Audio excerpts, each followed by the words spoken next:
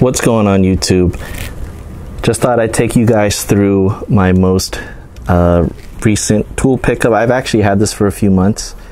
I just haven't gotten around to, uh, to using it, but this is the Harbor Freight's uh, snow foam cannon uh, that you, you can actually pick up via 25% off coupon. Um, I think until today, if I end up uploading this, but it's, it's during the 25% off Memorial Day sale. Uh, I just thought I'd give this a try. Um, this was the previous foam cannon that I was using. Uh, I purchased it off of Amazon maybe three or four years ago. Uh, but I thought I'd see if this was a definitive upgrade. Um, the build quality just overall, I haven't sprayed it yet, uh, but it, has been good. Uh, it's sturdy. Um, there's nothing that rattles or that's loose. The knob on top feels really, really stout. Uh, but yeah, so I'm not going to take you guys through the entire car wash because uh, it gets pretty lengthy and I don't want to get my camera wet and all that other stuff. But uh, obviously, just I'll explain uh, what I'm doing. And I figured today's a really nice day out. It's, I don't know if you can see that, it's 68 where I'm at. Uh, so perfect time, not too hot to wash your car, but nonetheless, two bucket method just your Home Depot Ryobi electric power washer special 1900 psi um, then I usually for maintenance washes which is what I'm doing today I finish off with the 303 on my tires with the Adams foam applicator. And then I have uh, the Meguiar synthetic spray wax that I use as a drying agent. I have my old foam cannon mounted up here so I can just do a quick comparison between the Harbor Freight and this Amazon special. Uh, let's go ahead and loosen the knob. That's all the way tight.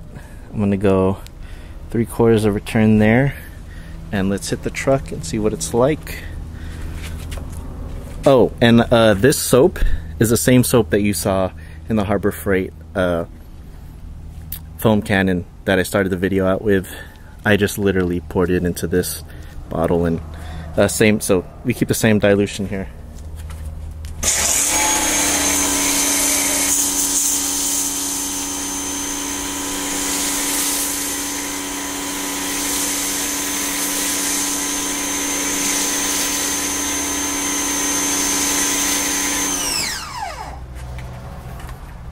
So, by my own estimations, I would venture to say that it is a bit watery, but as soon as it does settle down, you still get some foam, but let's let's keep in mind the uh, foam that's puddling down on the side of the car.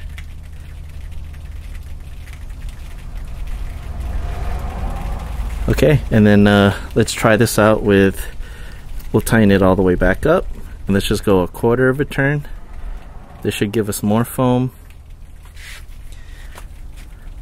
And you know, one thing I didn't notice too is when it sprays out, it's definitely more top heavy in terms of like how the foam fans out as it sprays.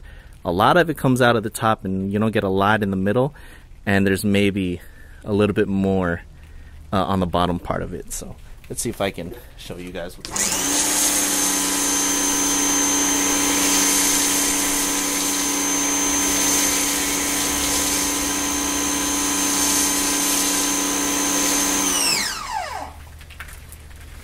That was a quarter of a turn.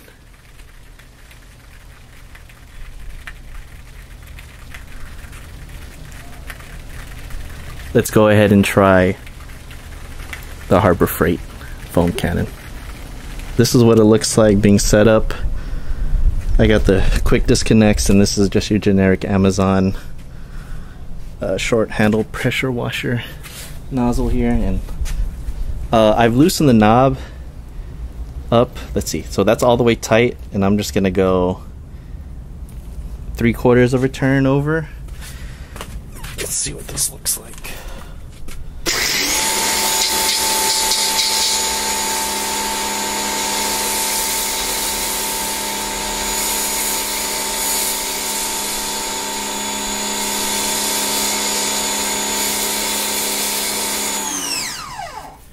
So coverage is really good, really sudsy.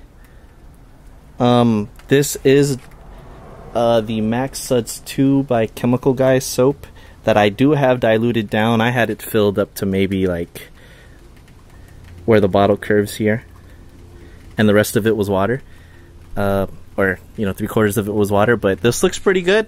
Let me give give it one more spray. I'm gonna loosen the the nozzle, or I'm gonna actually tighten it a little bit. Let's see if we can get a little bit more foam out of it. That's all the way tight here. Let's just go a quarter of a turn.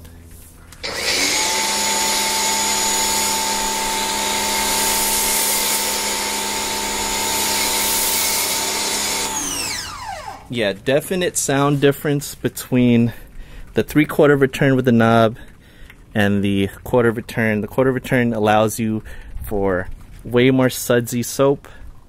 Uh, you can just hear it dripping off of the car, hitting my driveway here. And uh, yeah, if you have a really, really dirty and dusty car, definitely use a quarter turn. Um, but I just imagine myself, especially during maintenance maintenance washes, um, loosening this thing up because there's just no need for that thick of foam. But overall, pretty happy with this thing. Um, yeah. But would I recommend buying the Harbor Freight as a first time foam cannon user? For anyone who's looking to just quicken up their uh, car washing process at home, um, yes, I would highly recommend this. Uh, in my personal opinion, this foamed a lot better than the Amazon Special uh, foam cannon. And, you know, the price difference after I got this one 25% off, less than $10. So it's, so it's marginal, right? Uh, between the two. So, yeah, moving forward, I will be using this.